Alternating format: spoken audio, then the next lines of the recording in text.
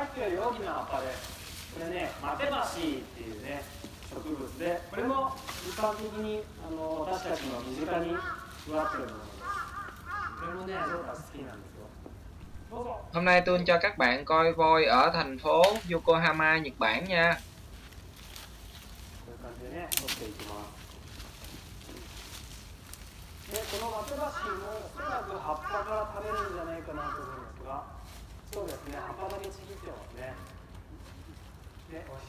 Tội nghiệp các bạn ấy ghê chưa? Ở nhà trong rừng không còn được nữa.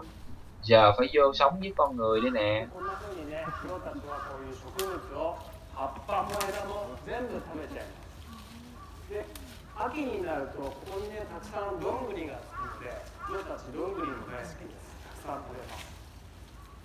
で野生野生のゾウの場合は森の中を歩き回ってこういうね木の実とかどんぐりがなるような木たくさん食べます。 そうですね。足は使ってないですけど、うまく鼻のスナップを効かせて、えー、小枝だけ取ってね葉っぱから食べてます。ということで、えー今日の手高しは葉っぱが美味しいみたいです。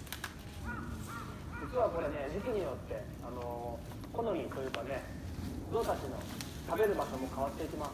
おそらく葉っぱが苦い時期には葉っぱを残して先に枝を食べることがあります。